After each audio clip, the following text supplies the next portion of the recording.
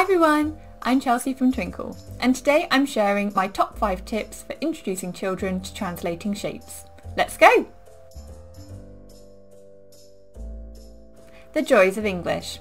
Before meeting the term translation in maths, children will have heard it in many different contexts throughout their everyday life.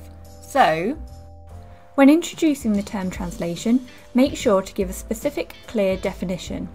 Mention the other meanings of the word translation and point out to learners that this is not the same. This is a maths translation and this is exactly what it means. To save you precious time, Twinkl has a range of PowerPoint resources with just the definitions you need. Choose one of the blank coordinate grids from Twinkl which is appropriate for your learners and let them cut out a shape using card. Place it on the grid with at least one vertice on a coordinate point. Let them move it around the grid, noticing how when we translate, it is a slide action. Could they work in pairs and start to give each other instructions?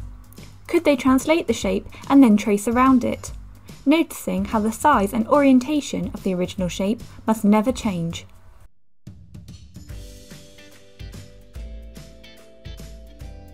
As with any new concept, learners will thrive if shown many different examples. Drawing and creating shape resources for your class can be extremely time consuming, but Twinkl has a huge range of translation resources you can pick up and print. From games to worksheets, one quadrant to four, translate the shape or identify the translation, Twinkl has a resource for every age and learning objective. They are differentiated using the star system and come with handy answer sheets. This is a fun way of exploring translation. Learners could create a design and paste it onto a Word document or PowerPoint slide. Then, using the copy and paste function, they arrange the tiles in a repeated pattern. Point out how as they move the tile around the screen, they are translating that shape. It is moving location, but they are not changing the orientation or the size. A great cross-curricular lesson with some wonderful display results.